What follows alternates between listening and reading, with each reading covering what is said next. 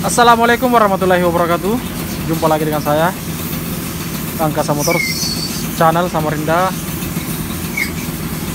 Oke gimana kabar kalian semua? Semoga uh, Semuanya sehat ya.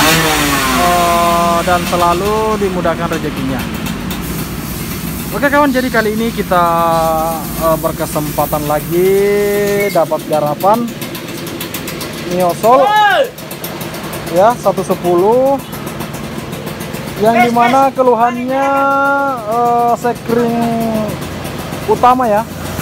Yang 15 ampere itu putus. Selalu putus lah ibaratnya. Jadi tadi malam ini motornya datang. Ini akhirnya sempat uh, kita copot ya. Sempat kita copot.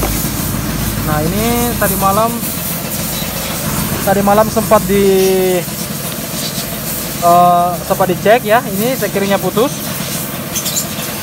Yang 15 ampere juga putus. Ya. Pokoknya putus-putus lah setiap dipasang sekring dinyalain sebentar dia langsung putus. Oke jadi seperti itu permasalahannya motor ini kita langsung aja ya kita bongkar karena mumpung kerjaan nggak begitu uh, maksudnya ya mumpung kerjaan agak longgar lah ibaratnya ya. Saya berkesempatan untuk megang lagi motor ini oke? Intinya videonya disimak aja kita akan bongkar dulu. Oke kawan. Oke kawan ya jadi kita sudah buka motornya. Ya tadi kita juga sempat ngecek ya. Oh, maksudnya kita sempat tes pasang sekring ternyata memang putus. Ya diperhatikan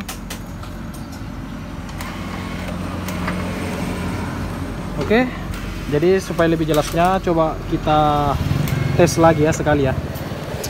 Ntar perhatikan.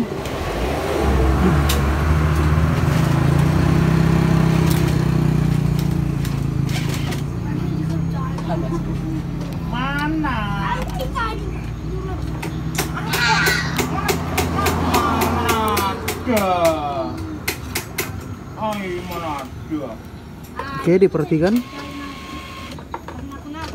Iya.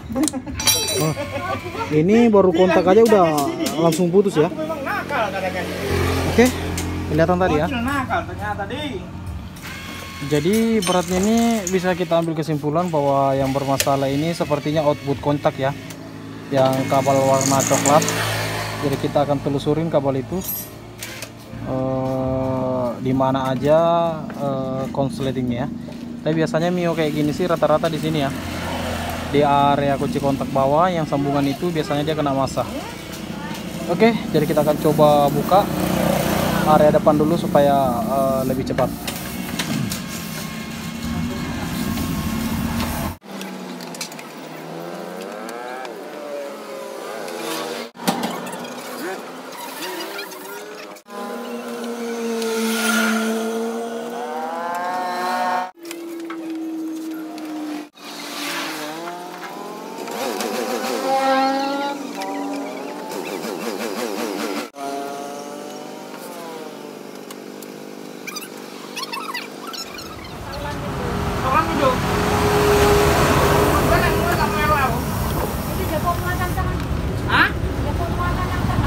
Oke kawan ya, jadi kita sudah buka ya cupnya dan memang benar ya feeling kita benar lagi permasalahannya itu ada di kabel coklat ya output kunci kontak.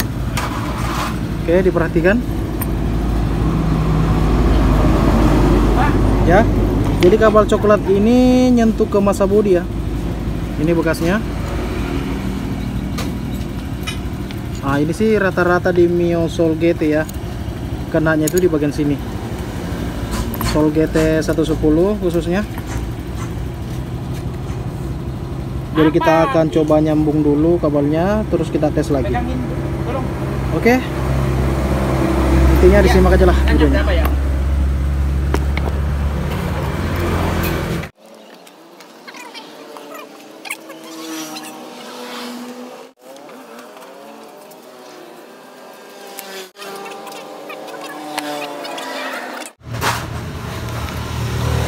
Oke kawannya jadi kita sudah solasi kita tes lagi ya oh, seperti apa hasilnya masih lama gitu Pur? Hah? masih lama kan? Bentar ini pasang buat satu aja. Kenapa? Hah? Oh iya. Oh ini tuh bentar ini sudah ini.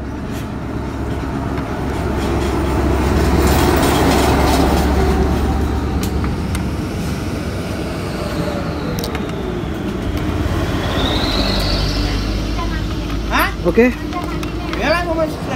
kita pakai sekiring 15 ampere aja ya kita pakai sekiring 15 ampere karena yang 10 ampere pada putus semua oh.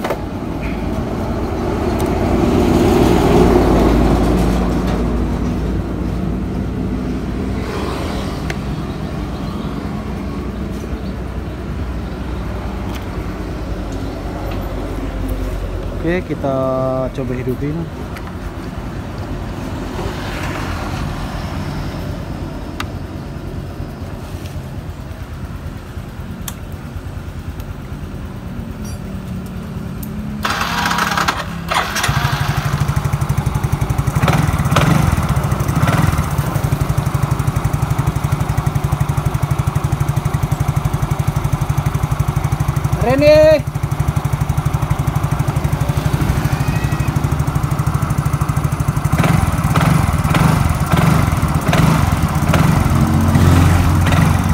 Oke kawan, jadi sepertinya sudah normal ya.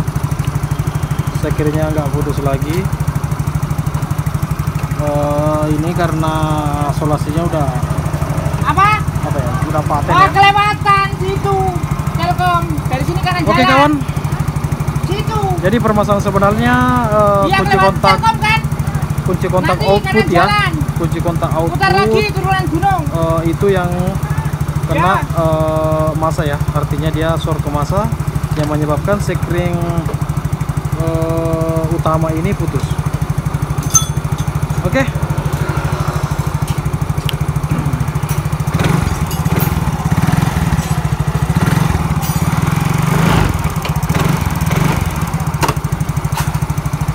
Kawan, jadi sepertinya itu dulu video dari saya. Semoga bermanfaat. Ini garapan masih banyak, jadi eh, kita sudah dulu video ini. Tidak lupa juga yang sudah subscribe, terima kasih banyak. Tunggu video-video lainnya dari saya. Assalamualaikum warahmatullahi wabarakatuh.